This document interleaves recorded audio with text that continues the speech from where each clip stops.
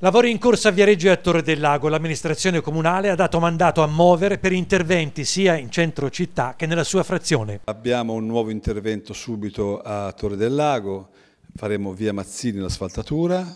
dopodiché eh, cominceranno i lavori eh, nella piazza Puccini che verrà risistemata non appena avremo l'autorizzazione della sovrintendenza, così come la terrazza della Repubblica e questi sono interventi che eh, faremo nel, nell'estate, dopodiché eh, avremo dei nuovi interventi ancora sui marciapiedi, stiamo ultimando eh, via Machiavelli, ci saranno interventi anche in via San Francesco, abbiamo insomma, un piano di interventi anche sulle piste ciclabili, eh, sistemeremo la pista ciclabile di via Marco Polo, rifaremo i due marciapiedi di via Marco Polo, insomma diciamo che stiamo investendo sulla bellezza della città perché vorremmo che quest'anno fosse l'anno degli interventi anche di ripristino di alcuni punti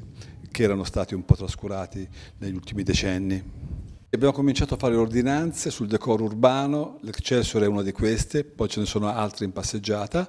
Sappiamo che l'Excelsior presto comincerà a fare eh, l'intervento sulle facciate che sono veramente indecorose, questo per noi diventa importante, così come è importante, e voglio sottolinearlo, anche un investimento che faremo sui marciapiedi per eh, la, la, possibilità di poter accedere con le carrozzine per le persone diversamente abili. Anche questo è uno dei punti che a noi interessa, quello di rendere la città per i diversamente abili più fruibile. Lavoriamo insieme a Mover per una città in ordine più bella, conclude Alberici, perché Viareggio sia pronta ad accogliere i turisti, ma anche per i cittadini che la vivono ogni giorno.